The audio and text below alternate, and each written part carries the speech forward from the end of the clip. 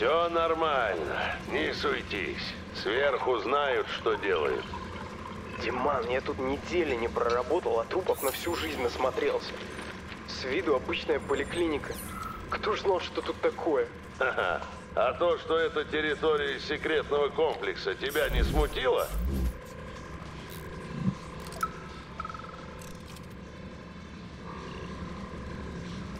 Так он тут еще.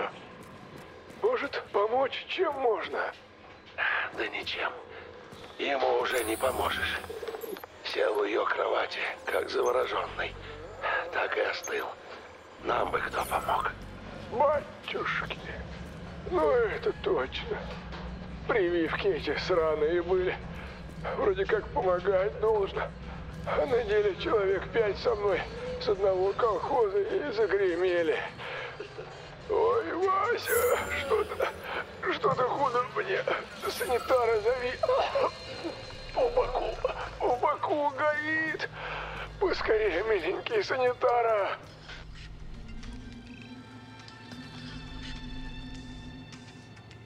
Захаров не умер, товарищ. Захаров жив. Что? Вы кто? Вы что несете?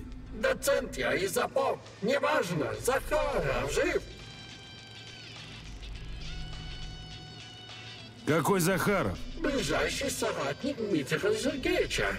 Гений, может, даже посильнее самого Сеченова. Считалось? Ну и хорошо. Не чувствую. Ничего не чувствую. Видать, в позвоночник. До конца жизни в коляске. Нет, нет. В шею, да? Не вижу ничего.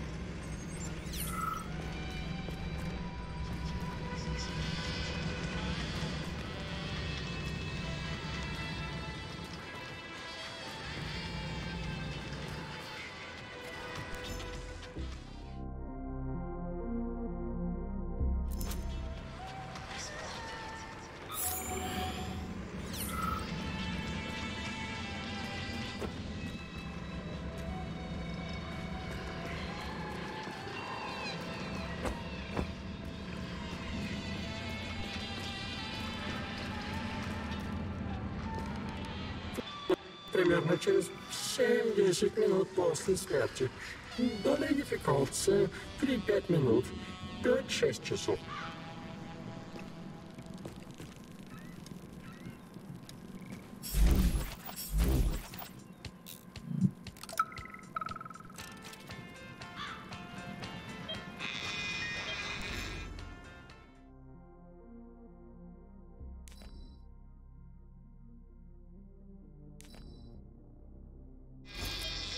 Тампон. Сосредоточьтесь. Внимание на разрез. Сейчас, сейчас. Сосредоточьтесь.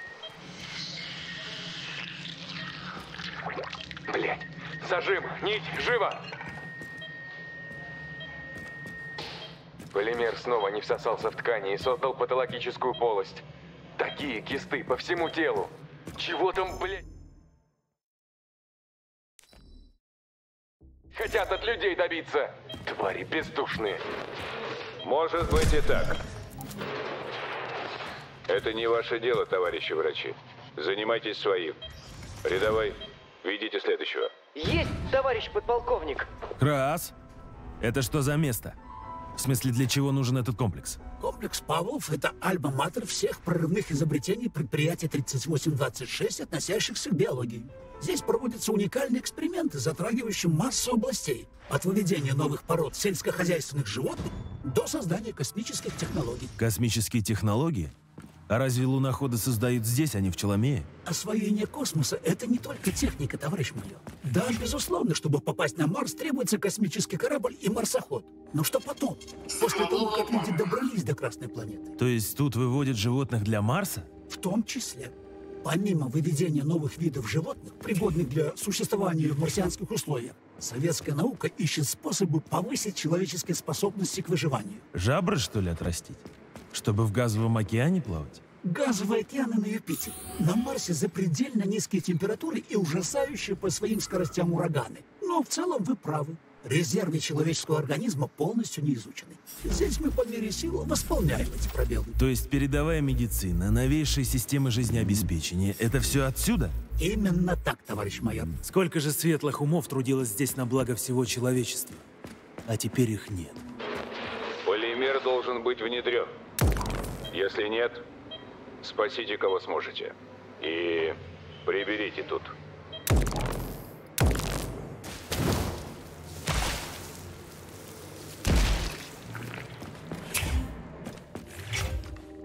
Надеюсь, она спит. Мне нужно оружие.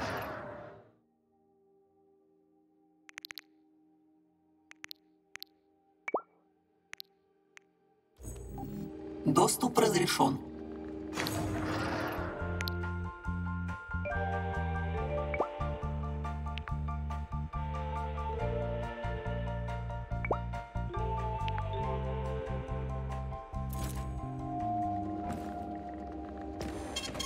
Сохранение данных.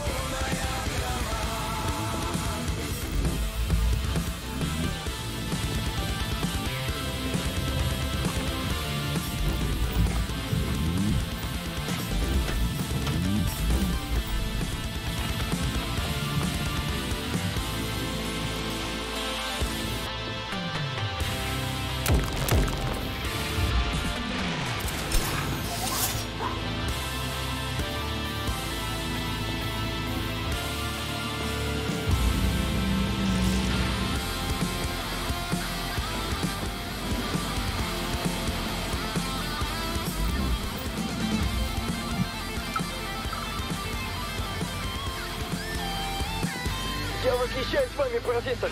Ваши расчеты и решения так изящны и логичны. Ваши труды по мимикрической адаптации полимеров просто невероятный вклад в науку. Спасибо на добром слове. Правда, нельзя сказать, что это только моя заслуга. Но кто вы? Иван Быков, младший научный сотрудник комплекса Павлов. Я работаю в картотеке, мечтаю попасть под ваше управление. Я поклонник ваших работ. Что ж, ваше рвение похвально, хоть и несколько настораживает, буду откровен. Полимеры – перспективная и быстро развивающаяся отрасль науки. Но тут ведь вот какое дело, на одном рвении результата не добиться. Давайте мы с вами встретимся, скажем, через месяц. Посмотрим, что можно сделать. А сейчас прошу меня извинить, наука не ждет. Меня нет месяца. Вы еще обратите на меня свое внимание, профессор. Готов заключить пари.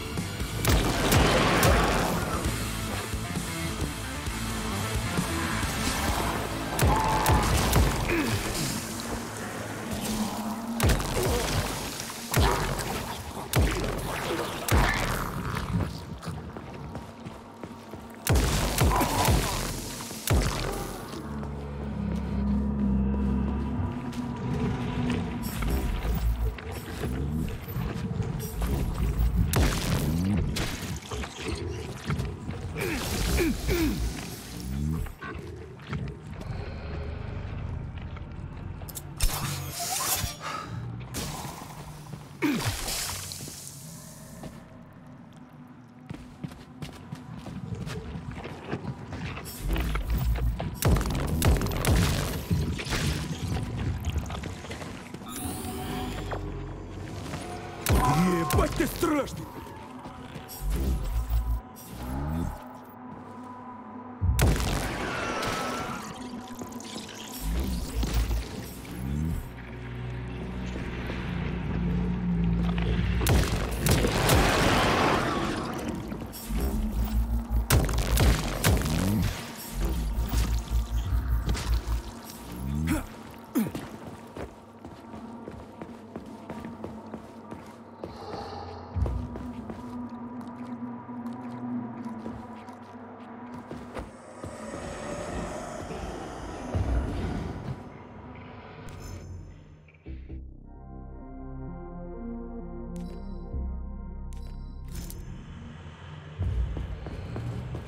Thanks.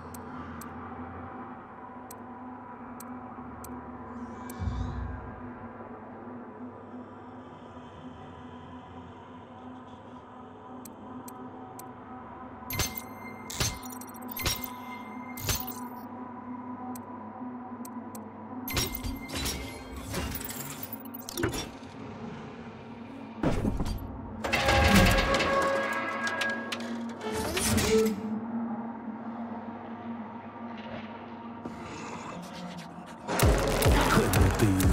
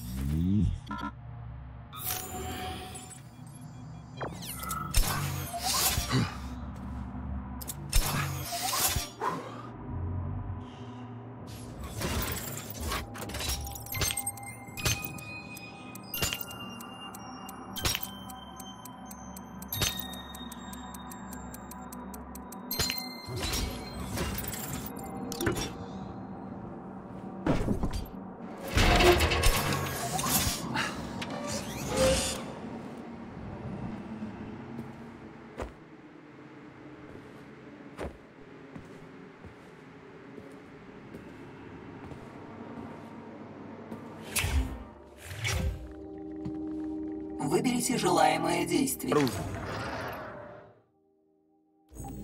Выберите желаемое действие.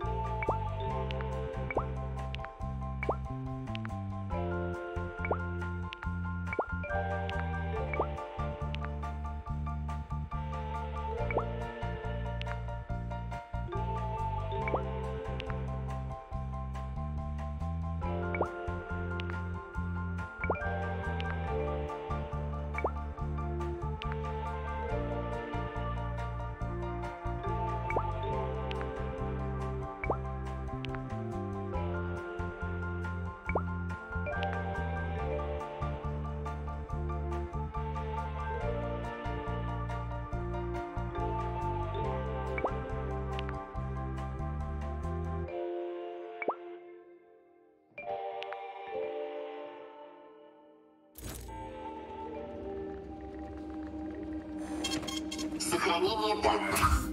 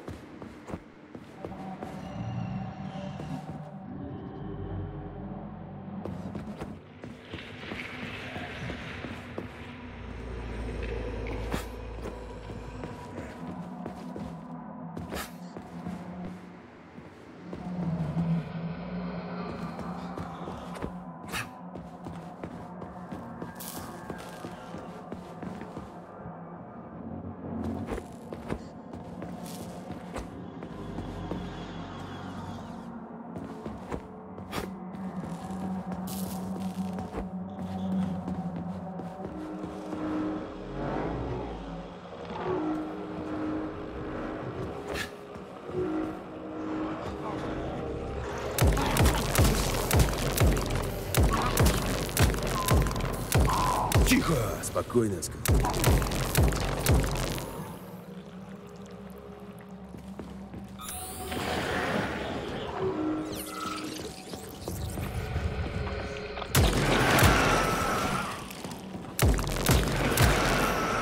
Я тебя сейчас почки опущу.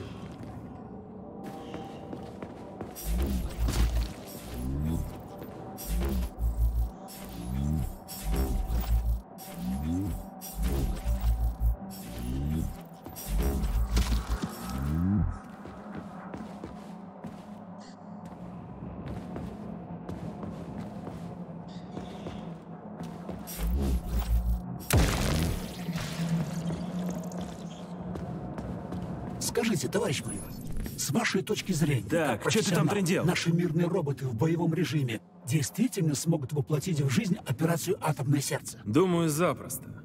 Если роботов полно на всевозможных военных базах, в штабах и пусковых шахтах, и никто не ждет от них нападения, то роботы застигнут американских военных врасплох, как застигли врасплох подразделения, охранявшие предприятие 3826. Крайне печально. Мир только оправился от войны и вновь массовые жертвы. Ну, не так уж и печально, если подумать. Вы хотите этим сказать, товарищ майор? Если товарищ Сеченов и Политбюро СССР хотят захватить США и даже весь мир, они не станут сражаться с простыми людьми. Но во время боевых действий гибнут мирные жители. Вам ли не знать? Если роботы запрограммированы не убивать гражданских, то атаковать мирное население они не станут. Крас, ну ты же робот, должен понимать. Я робот? Что ж, в какой-то мере вы правы. Робот-перчатка. А что, нейрополимерные перчатки не будут подчиняться коллективу?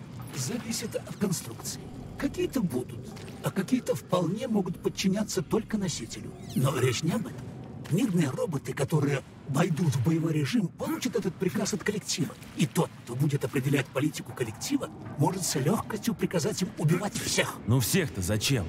Это же люди, рабочий класс, колхозники, ученые. Твою мать, так вот для чего нужны им эти кольца.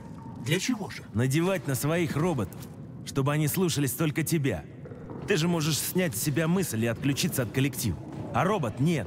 Так получится, что твой собственный домашний робот сам же тебя в коллектив за шиворот и притащит. Вы правы.